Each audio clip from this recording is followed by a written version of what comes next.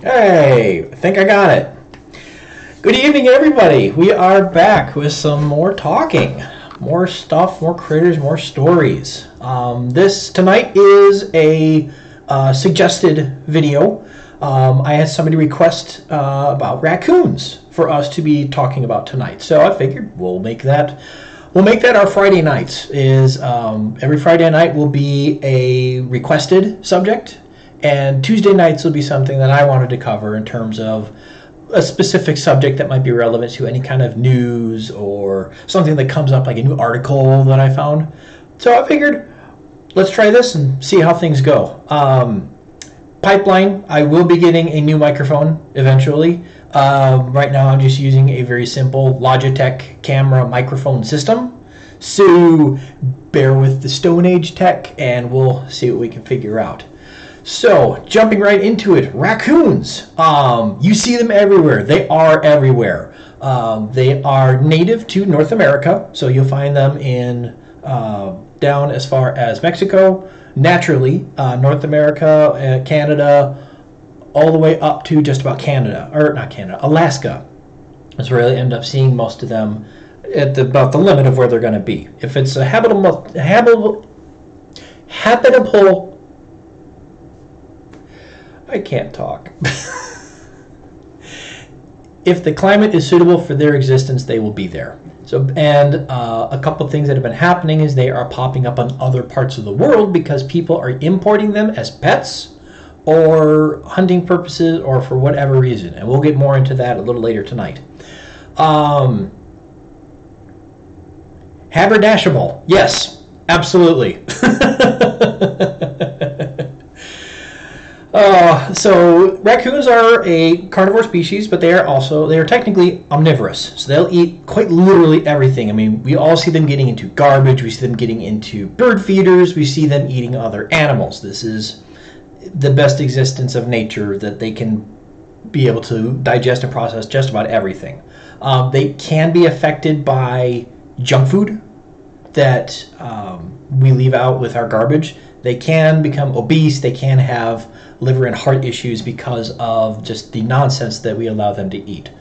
Um, with raccoons, they are uh, they don't mate for life. They're not a lot of animals really do. That's a that's a weird concept for mating for life with the natural kingdom. That's more common with birds than for mammalian species, is what I have been finding. At least in terms of what I've been exposed to. With the raccoons, they have a litter, and actually, we're just about to hit uh, birthing season here really quick here in Western Washington. A uh, bunch of guys I know and the rest of the United States, East Coast and Midwest, are already starting to find raccoon litters. And the litter can be anywhere from two to five. Average is three to five usually in terms of what um, will be born. It's very rare to find more than that on very rare occasions has have I found there to be more than five, and that's because it's usually a sister set of females gave birth at the same time. Now that is incredibly rare. I don't want people to think that's a pretty common system. With raccoons, um, they are probably the most adept animal at learning how to cohabitate with humans. They are they are imprintable in the fact of yes, you can have one as a pup and attempt to bring it up as a pet. The problem is it only knows you as a reliable food source and a very easy life. It is still a wild animal. They do not make good pets. They're not domesticated, and I've covered this on different talks. We'll we'll make a whole subject of just domestication on another night. Um, this was an image I found. Um, it just thought it'd be an interesting starting point. This is a, a platform bird feeder with a raccoon hanging out in it. Yes, they'll go for bird feeders regularly. They will find ways to hang by their back feet and twist off the lid of other bird feeders or knock it straight to the ground. So long as they can get to the food, they'll figure it out. Um, they are also very adept climbers.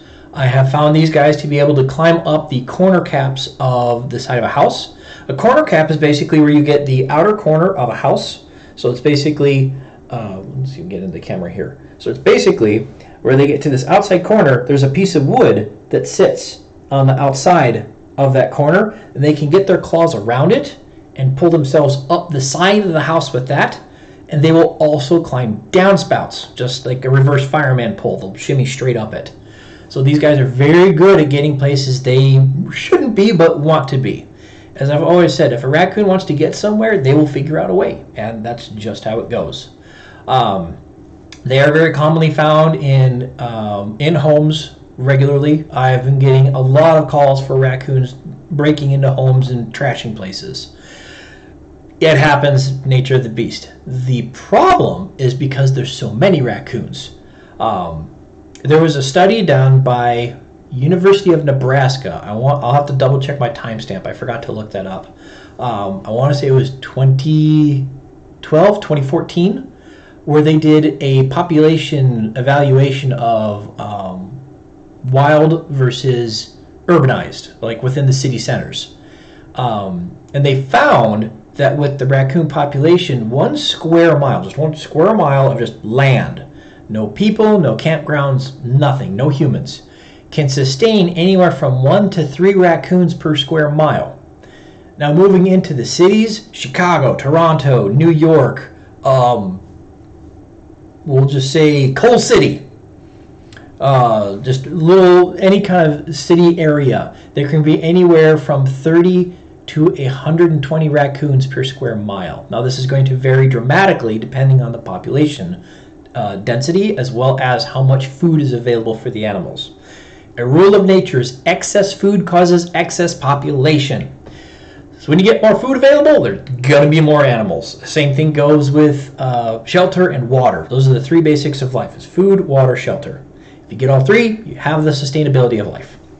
So, with raccoons, they know where to look for it everywhere. Uh, they get food because garbage that's been covered. People grow fruit, fruit bushes, fruit trees, um, bird feeders.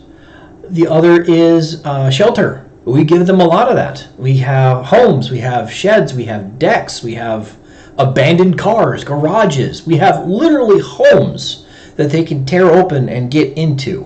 Uh, I have had a raccoon tear its way right into a roof. Actually, do I have my pictures? Let's get some pictures up here. Animal pictures. All the pictures. Where did it go? Let's see, let's see. the animal pictures, but I don't know. Here we go, animal damage.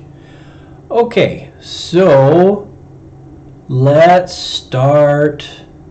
Let's start with a roof. This is one of my favorites. Oops, no, I don't want to do that. Okay. Change the image here. And let's do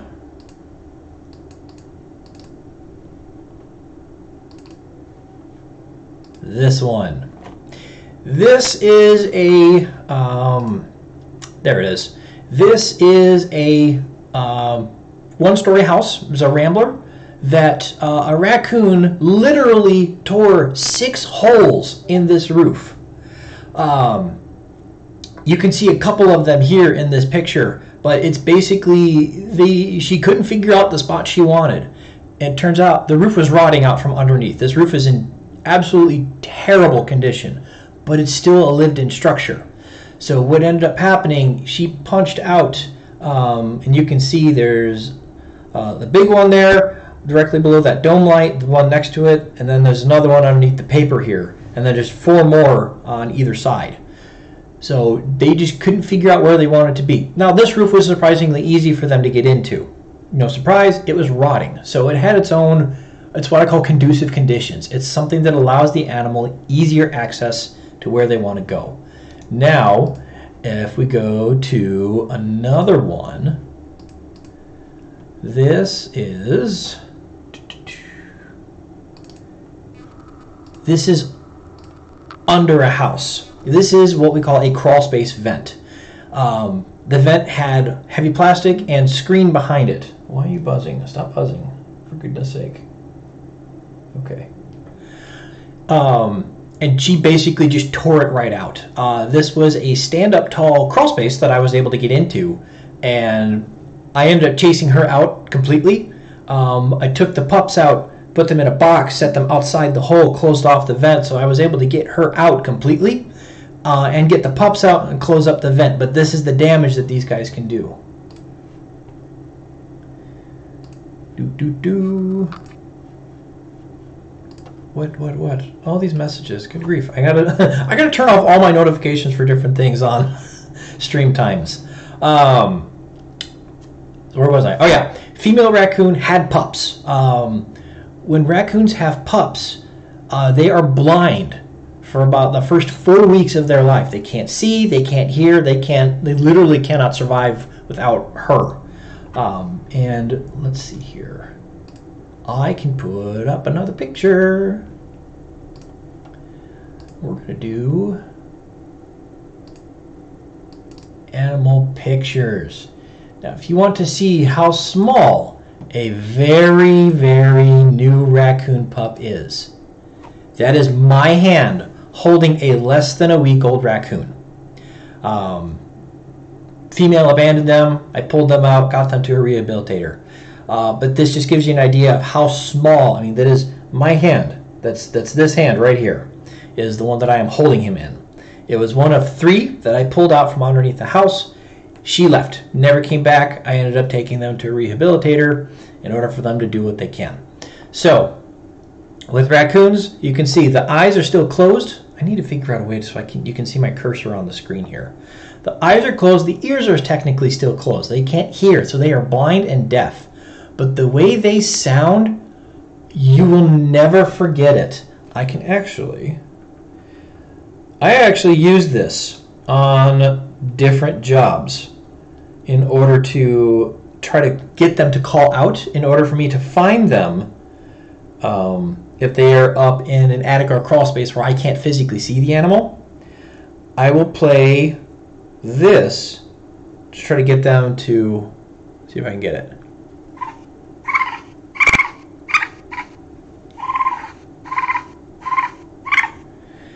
That's just a general call when she is on the nest with the pups. That's what, and you hear that sound everywhere in movies it, along with anytime there's a, a clip of a raccoon. Um, oh, you think you okay? Try this one.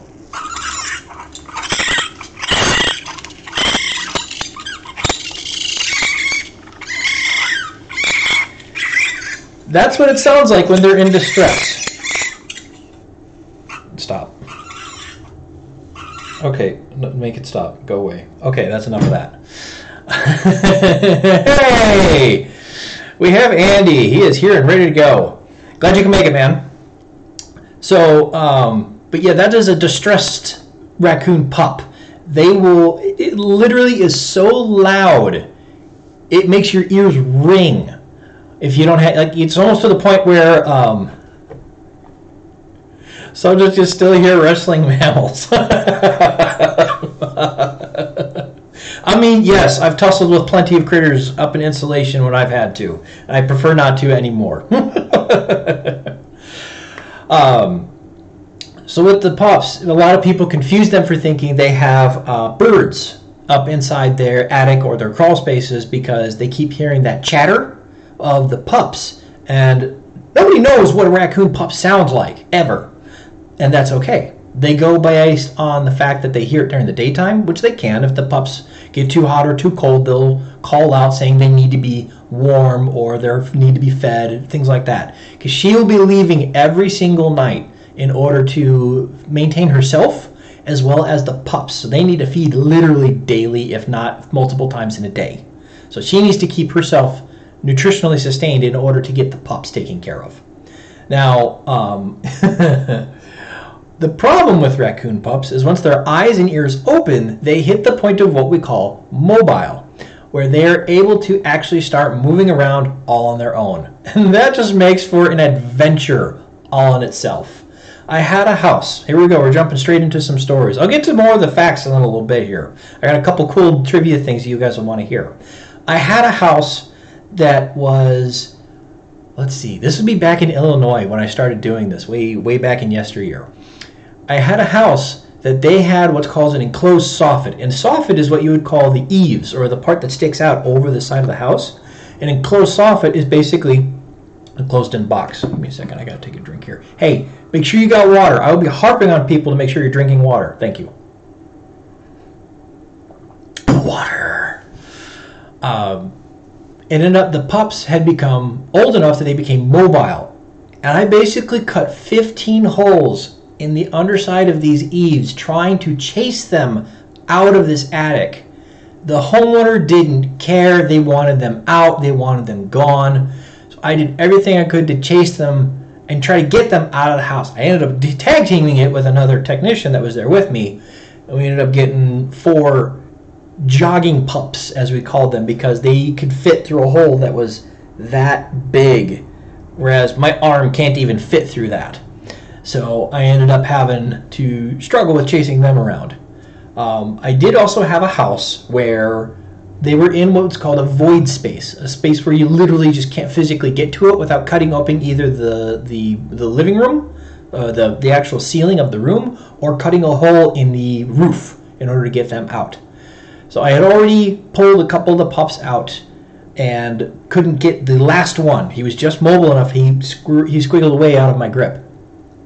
So I put a big canvas bag. I stapled that directly to the opening of the ceiling. I put two of the pups inside this bag. It was deep enough that they couldn't actually climb out. And my idea was basically he's going to crawl over the ceiling and then fall into the bag with the others. Overnight, it worked. Nobody slept, but it did solve the problem. That's all that really matters. Um, moving on to some of the trivia about these guys. Um, so these guys have actually been a huge problem in Japan. Raccoons Actually, let's see if we can find some of the damage. Raccoon damage in Japan. Basically, what they've been doing is these centuries old temples. Uh, temple. These century old temples are getting ripped apart by these animals because these places aren't designed to be even to interact with these animals. They were brought over as a I can't find a good picture um, in terms of some of the temple damage. There's a really cool documentary you can check out through PBS called Raccoon Nation. I highly suggest everybody watches it at some point, just because it paints a really cool picture of. Um, here we go.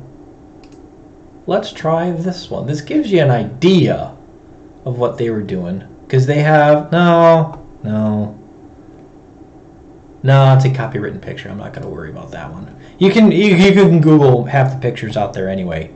Um, you found a dead raccoon in an attic last week. Um, okay. How far gone was it? Was there was there still fur? Was it naked? I'm curious now uh, because you will find raccoons will become infected with different diseases. Um, one of them in particular is distemper and rabies. Those are the two most common ones that you'll find that are um, transmittable to either humans or pets. Um, a disease that is transmittable to a human is called a zoonotic. Uh, we, we're, we're dealing with a nationwide zoonotic as it is, but we're not going to discuss that. Um, oh, if he was skinless, he's he he been there for a while. He been there for a while and uh, we'll those are the fun ones. I had I had some coworkers at one of the companies I used to work with. They were so morbid about it that they would take the husks is what I always called them. They would take and save the husks and mount them in shadow boxes in their office as a display. And I, it, oh my gosh, it blew my mind on what they would do. Um, touching back to Japan, so there was a TV show, uh, an animated show, I believe, called Rascal, that hap- that was many years ago. And Rascal, actually, when did that re? Rascal the Raccoon. When did that air? This aired. Okay.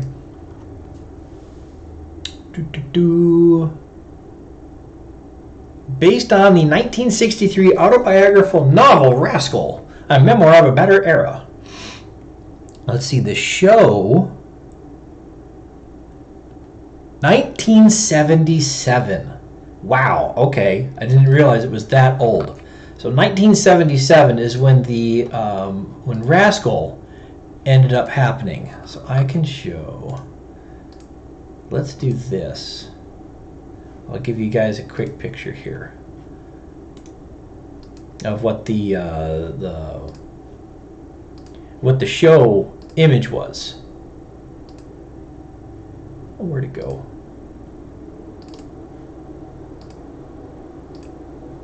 This. This is what the show was based like. This was the, the show for Rascal. 1977, right there. So, what ended up happening is with this story, it was about a kid that had a pet raccoon. And the problem with Rascal is he kept getting into trouble and causing mischief in the town. It got to a point where the town didn't want him in the village anymore.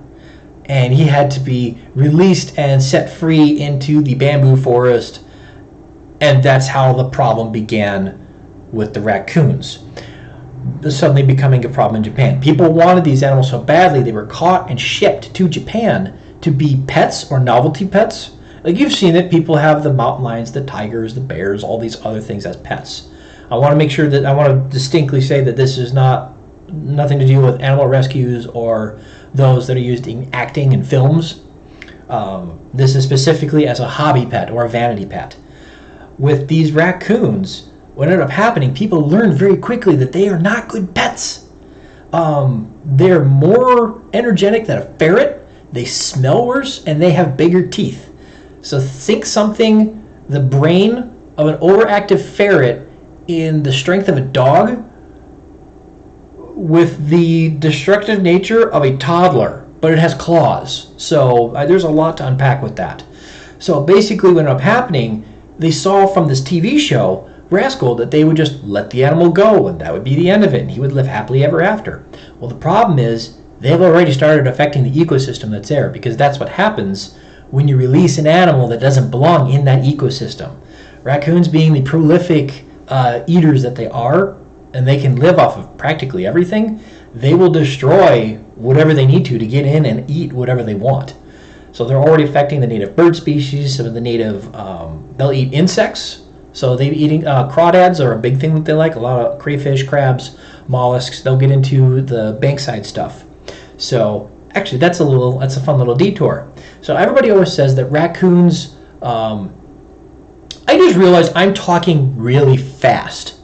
If I'm becoming too hard to understand, let me know, and I'll force myself to start slowing down. Yes, that is exactly why Florida is having a huge issue with the pythons, the Burmese pythons, uh, because the climate there is so perfect for them to thrive that they're killing the native ecosystem. Um, and that's why they now have these bounty programs in order to try to catch and remove as many pythons and eggs as possible. But we can that'll be a talk for another day. I'll, my list grows forever. So what ends up happening with these raccoons is now because they've been displaced out of their traditionally natural habitat, they end up getting into the structures that are there and those are the big old temples. Like you, you see them in anime you see them in tv shows all the time. They're beautiful structures but they get these holes torn into them by the raccoons regularly. And that's why now um, government the japanese government has them on a kill on sight practically because they just they don't belong. They can't be there, um, and they're wreaking havoc on the historical structures as well as the ecosystem itself. And that's that's our fault. That is 100% our fault as humans. Um, and we need to we have to take the measures now to correct that. It's no longer oh nature work itself out. Yes, that's called extinction by other creatures when something else moves in. Um, and God, I love going on these tangents because I completely forget what I'm doing otherwise.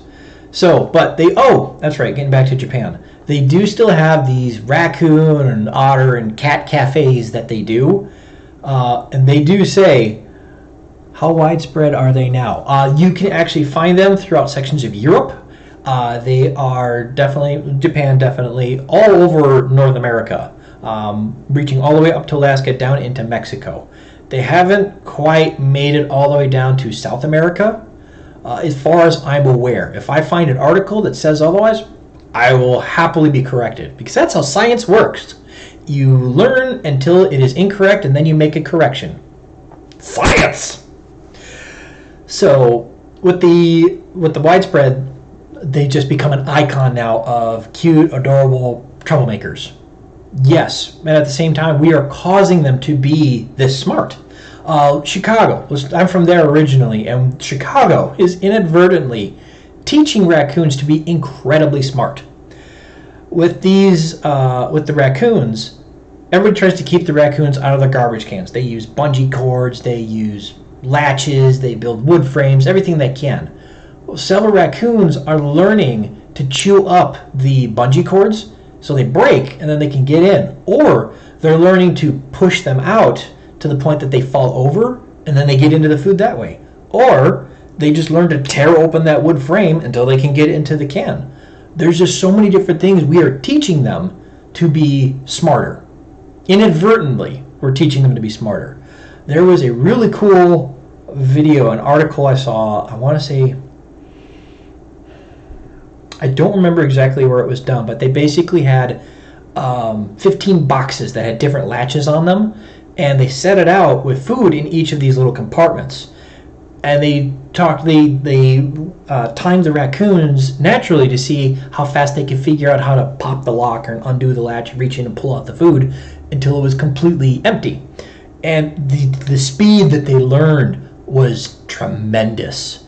It went from like like 15-ish minutes to less than 10 for them to open it up and clean it all out. And I have experienced stuff like that because with my with the catching of raccoons that I do, you will get where they will be caught and moved to a different area.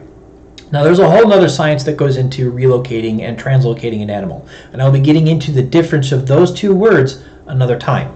Uh, but with the raccoons, they and this goes with almost any mammal, they can become what's called educated, or what we call in the in the industry trap smart. They have been caught, had a traumatic experience, a very stressful experience in that environment, and know what the cage looks like, and they know they will not go back into it. Drink your water. If you have, keep keep a water bottle. I'm going to keep reminding people. Drink your water. Come on. Um, the just the education that these animals have figured out is amazing. So that's why I say they have the destructive knowledge. I mean, no, I can't tell you what to do, but I can encourage you to be healthy. I can't tell anybody what to do, but I can definitely let you know my opinion, and that's okay. Everybody's entitled to their own opinion. Um, so let's see, where was I going with the rest of this? So uh, yes, they are a really cool animal. There's so much about them that we're still learning and understanding. Um, with raccoons, they can get up to the biggest raccoon I ever caught. I no, ever had to deal with was a 45 pound raccoon. Hi, Asia. Thanks for tuning in. I appreciate that. I had an assumption, but yes. The one reason I hate dealing with rats because they are skittish and learn. If I'm not on my toes, it's going to be a problem. Yes. we can have a rat talk um, another time. But yeah, um, we're getting all these great ideas, guys. If you think of something that you want me to discuss, send me a message through Twitch. That's how I'm able to separate the information because with this with the chat bar that I'm looking at, I'm not going to be able to remember all of that. I'm telling you that right now. So you can always go through and message me on Twitch um, there's a whisper function or something like that. I'll figure it out one of these days. This is only what my fourth stream, so I know exactly what I'm doing. it took me, hey, it took me forever to figure out how to put the chat box in the stream. So I'll figure it out one of these days. Um, but yes, we'll definitely talk rats one of the days and kind of the, the history and the different information about them, the widespread the species, all that. We'll we'll have fun. Um, so let's see. Now, raccoons also can become, uh, they don't necessarily hibernate. They have a thing that they can do called going into torpor. Uh, I want to get this right. Versus hibernation versus torpor. Okay. I want to get this right. Torpor involves physiological changes related to related especially to body temperature, metabolism, and water balance. Hibernation is when the organism spends the winter in a state of dormancy. It is long-term, multi-day torpor for survival of conditions. So, raccoons do not hibernate. They can enter torpor is the difference. So that's kind of where the separation is. Because um, they will still be active throughout the winter time. I did have one that I was trying to get out of a house, and it went into a torpid state, where I basically had a cage mounted over a hole on a house for three months. He wasn't dead. We could see him because it was a very old home and had lath and plaster ceilings. Lath and plaster, if you're not sure, they're little lath is little strips of wood that are tacked up to the side of the wall, and then plaster is smeared on top of it. That's how the old homes were built with the with the walls and the ceilings. So there was some of the, the plaster had given way and you could see him or some of the fur through the lath. I would take just a piece of wire and just poke him and he would growl and look down at me, but he wouldn't leave. He would not leave. That cage was up there for three consecutive months until I get a call and that raccoon was in that cage. And I got him out, got the hole sealed up, and we were finally done. But that was the longest single raccoon project I ever had. And it was it was dumb. It was oh my gosh, it was the dumbest the dumbest raccoon job I've ever had to deal with. It wasn't even a huge project. It was one corner of a house it was getting into and it just didn't want to leave. That's about all there is to it. So, um, keeping on the subject of a couple different stories with raccoons. I get a call. I got another job back in Illinois. I get a call 2 a.m. They have raccoons in their kitchen. The fun thing about this night, it is the night of 4th of July. So there are fireworks going off everywhere. So absolutely that can affect animals and their behavior. I get the call. The lady is bare. I felt so bad for this woman. I, re- I really did. I felt so bad for her. She was barricaded in her bathroom, curled up in her bathtub, terrified because bunch of raccoons had come into her house and they were downstairs in her kitchen. So I'm like, okay, I'm going to come over. Here's my fee. I can come out and take care of this. Here we go. And they approve the fee. I go out there. I come up to the house. I'm like, hey, your front door's locked. How am I supposed to get in? She said, well, how do the raccoons get in? I'm like, I don't know, but I'm not getting in the way they did. So the husband came down, unlocked the door, and he ran right back upstairs to the bathroom. So I go in there. I have my flashlight. I leave the, the the thing is, if you ever get into a situation, you don't want to scare the animal as you want to scare it as little as possible. If it's in a contained area where things can go bad very quickly. So I leave the lights off, and I have my flashlight, so I'm just looking around inside the house, and I hear plink plank plunk on a piano. Like, what is going on? So I shine my flashlight to the piano, and a young raccoon, a juvenile raccoon sticks his head out of a baby grand piano. He was walking on the wires, on the strings of the piano. And then I hear a pot fall off, a, a uh, fall off of a counter. I swing over to the kitchen, which is same. It's a big grand area, so the raccoons are in this big first floor level of this house. The the, the couple was upstairs in the up in the upstairs bathroom. I'm looking around, and there are five raccoons had gotten into this house. One in the piano, one was in the vent fan, the the over the stove. That's where they had come in from. One hadn't come down all the way. He had his head stuck out from underneath that hood. One was in the fireplace, or not the fireplace, the stove, because they had a gas burner stove. Um, one was inside the housing, and he had stuck his head out from one of the burners. There was another on a bar stool that was spinning, because it was the one that knocked the pot off. He was sitting on that and two had their hands like caught hands caught in the cookie jar quite literally in a I want to say it was oh what was that jar? It, it was a food substance.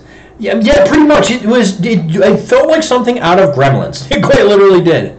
So I well, I ended up chasing them around the house, got them all gathered and caught, put them all in one cage, checked around, looked for nothing else, put them outside, shooed them on their way, went around, found where they climbed in through the fence, closed that off, went into the house, told them they're fine, they're gonna need to clean everything because there was urine everywhere from these animals having played around and everything, getting it, especially being a kitchen. It was, it being a kitchen made it the worst. So, hi caller, I see you there. Thanks for joining in.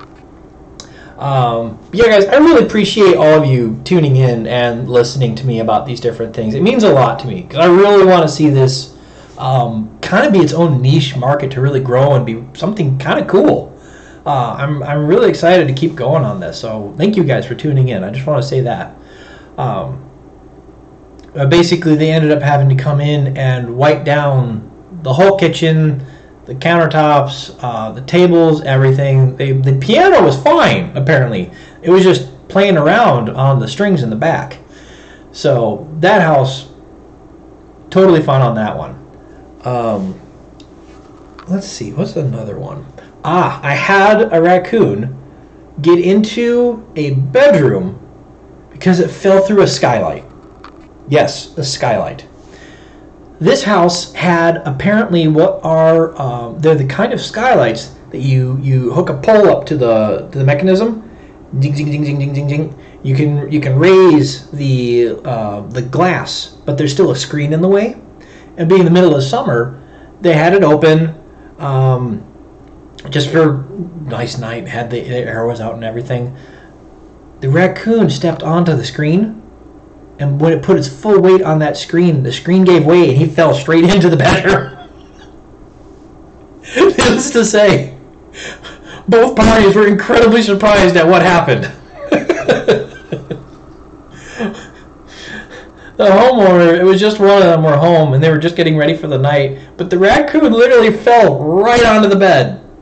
And they stared at each other for about a good 10 seconds before they both panicked and ran separate directions. So, I had to practically dismantle the bed to try to, to hook the guy out of there. But it was. that was a fun one. So, let's see.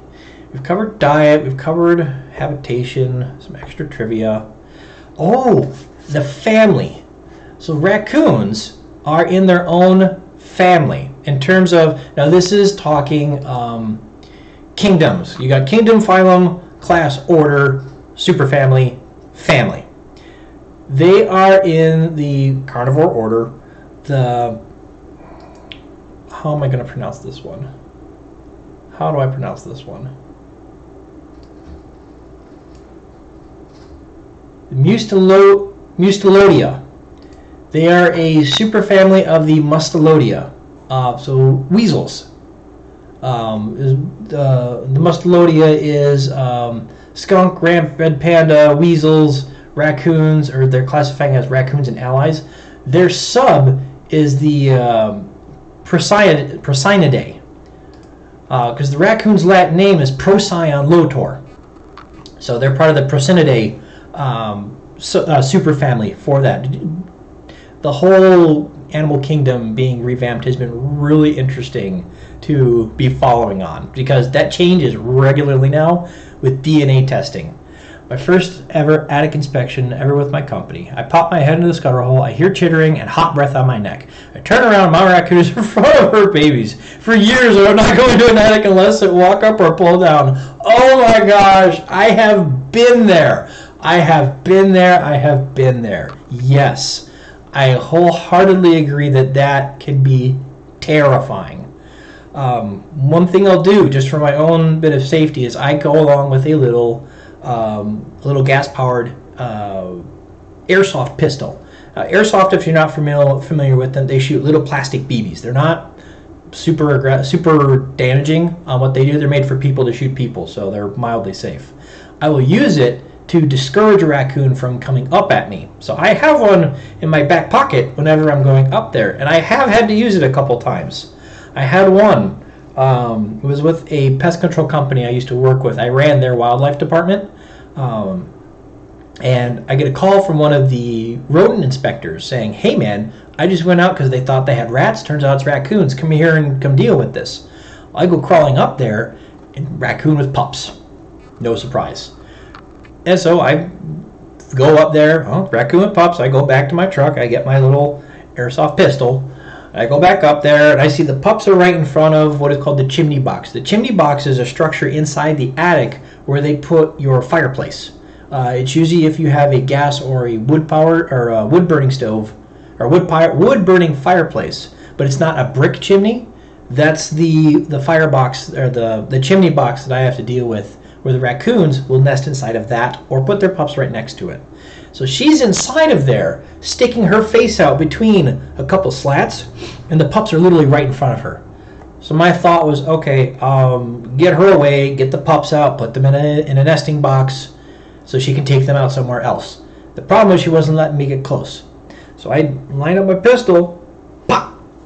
I stung her right on the nose. I hear this bark, and she goes running right out of the attic. Now, like I say, my goal was not to actually hurt her, but to discourage her. And I hit her right on the button. So she left. She flat out left that attic. Well, like me, a rodent inspector, and my manager. My manager was there with me because he was riding along to see how the wildlife jobs were going. So I, he, they all got the extra special treatment when I went along when they went along with me on this one. Um, but yeah, that was that's one of the few times you have a little. You just got to figure out the little safety tricks.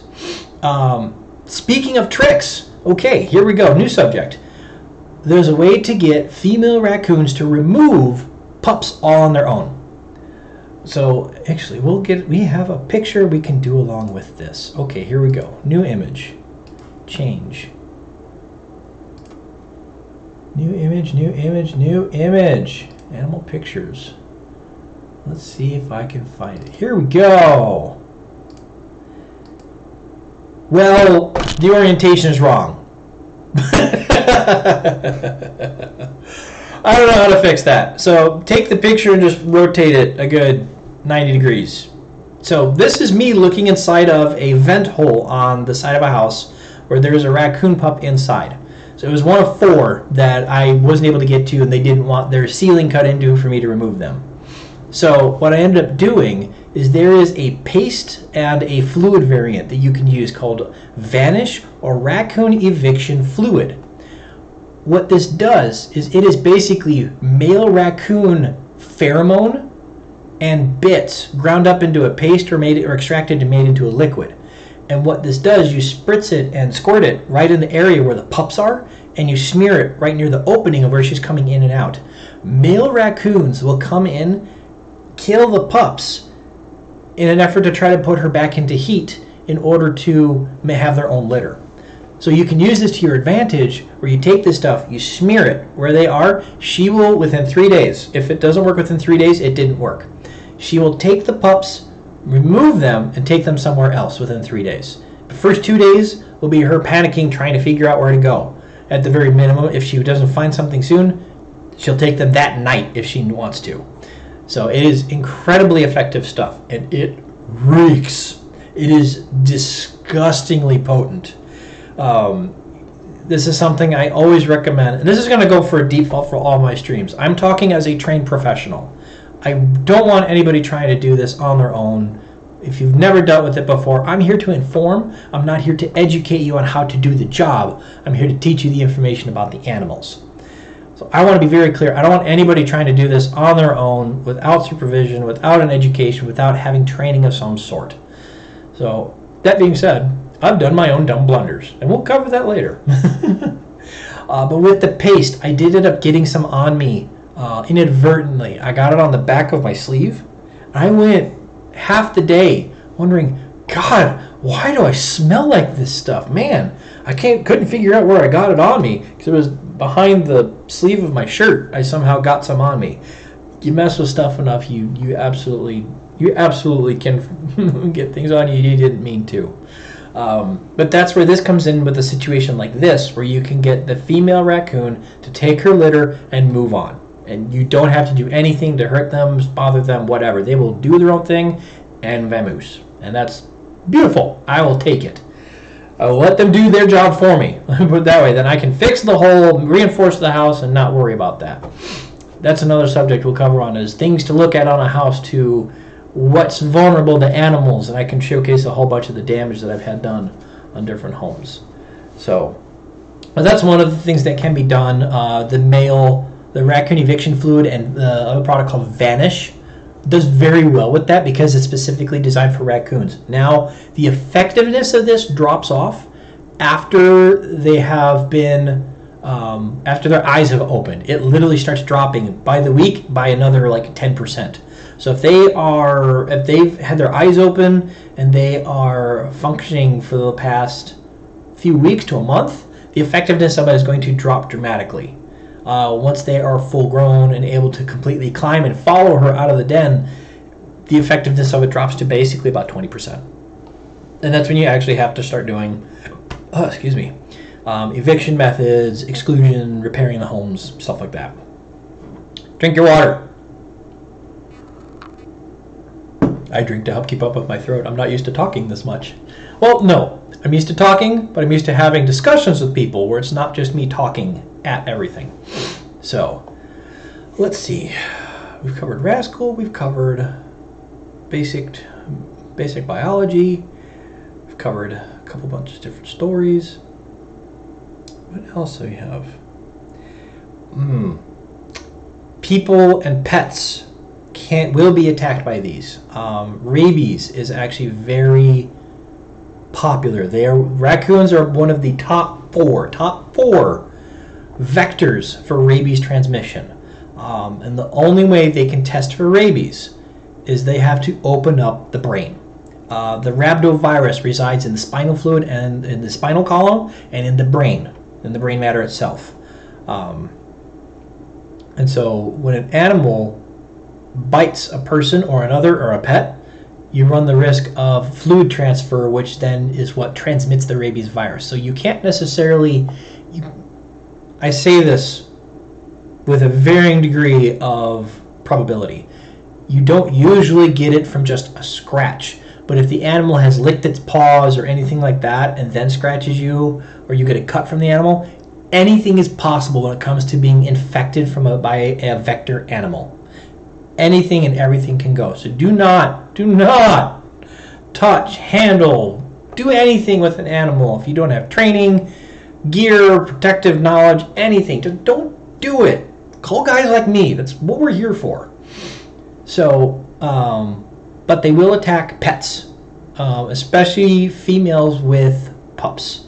Uh, and I can get into, we'll make a whole talk of what to do during um, offspring season have I seen the video of the older fella hand feeding about 20 plus raccoons on the back porch? Oh, oh, I have so much anxiety when I see that video. I know the one you're talking about. Yes, he's putting himself in a tremendous amount of risk. Um, one, because you have so many animals coming together in one particular location, that is a huge vector issue of not just for him, but for the other animals themselves. Uh, distemper is very commonly translated through uh, raccoons. It's very contagious for uh, cats. There's a there's a canine and a feline distemper. Um, I'm gonna have to check. I'll have to do a whole section on just diseases. But raccoons can carry raccoons can carry a distemper strain that can translate over the dogs and so you can cross contaminate. It's it's not a zoonotic to humans, like we aren't affected by it, but we can be a carrier. We absolutely can be a, a carrier. A reservoir is the term for these different diseases. But yes, um, this also goes to my huge adage: don't feed animals. They don't need your help. If anything, it defeats the purpose of them being wild. Because um, if something goes wrong, and say uh, this actually did happen to a lady um, in Seattle. Uh, I got the call. She had gotten bit by a female raccoon because she's been feeding these raccoons for years. And what ended up happening, she accidentally got between the female and her pups when she was feeding them with the, the dog bowl, and it bit her leg. She then calls me and says, Well, I just got bit, but I don't want the animal taken away. I'm like, Ma'am, the animal has to be caught and tested for rabies. And I told her what was involved with that, she basically hung up on me. To which I say, I, I'm sorry. I wish you the best of luck in what you're dealing with. But that is, That is science. Science doesn't care. So yes, the guy who's feeding that those 20 something raccoons. I don't remember I don't know where he's from. Um, I want to say the northeast um, New England area, I think is where he's based out of. Have, I'll have to do more digging on that. But yeah, he's putting himself in a lot of risk. Because if he was too slow or if he tried pulling food away from one of those raccoons, they'll take his finger. They will absolutely, absolutely take his finger, a part of his foot, whatever they want. They don't care. They just know you're a vector for food or a, a, a, a supplier of food, and that's about it. So, but yeah, no, guys, bring up these subjects. I love, I love like touching base on these kind of things. Um, but yeah, I'll be the first to say, don't if you have pets and you feed them outside, stop feeding outside. This goes for cats, dogs, any kind of pet you have. Uh, if you are feeding them and they are strictly an outdoor pet, do set feeding times. Don't leave the food out all the time. One, that's unhealthy for the pet. Two, that just invites other problems altogether. Not just raccoons, possums, rats, mice, birds. They all will come and feed at outside feeders. Um, with bird feeders, if you must have them, if you absolutely must have them and you absolutely can't live without your bird feeder, put it as far away from your house as possible. You want to put it at your far edge of your property. Yeah, I know that's going to ruin the view for the birds. I don't care. The whole point is to try to keep you and your home safe. That's all I care about. I care about science, I care about education, and keeping people safe. That's really what it all is. Yeah, um, I have had plenty of rat projects from people that have bird feeders that just let it go. Quite literally, they just do not care about their bird feeder. They keep it filled and they're like, wow, it's empty every day. Yeah, it's because you have a raccoon or a rat or a squirrel coming by and emptying your bird feeder. Ugh. I get so tired of that. If you must have a type of bird feeder, get a suet brick.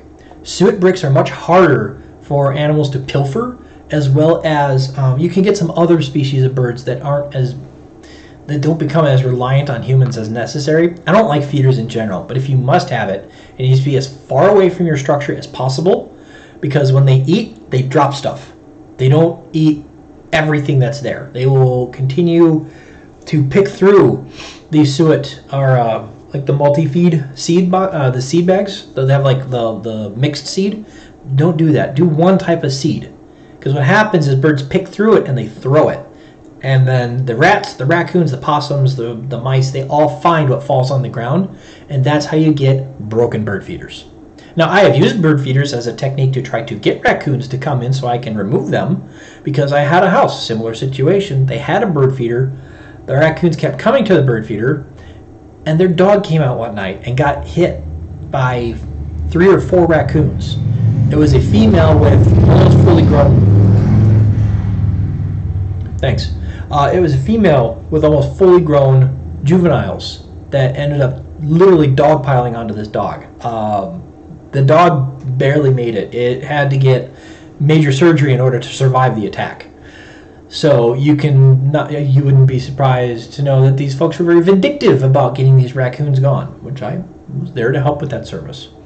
So but yeah, guys, I try. I'm gonna try my hardest not to talk about like um, the death, anything. If an animal needs to be dispatched, I'm just gonna mention that it is uh, dispatched or euthanized. I'm not gonna talk about my practices or anything like that. I don't want to. I don't want to be diving into that kind of thing. So we'll we'll we'll get a feel for how this all works out. Um, but yeah, we'll we'll see how this all work, works out in the end. So we're just about hitting an hour. My throat can already feel it. Um, but yeah, uh, feeding, just don't do it. If you don't have to, don't do it. Eviction versus exclusion talk would be good. Okay, I can, I can definitely make that a, um, I can definitely make that a subject.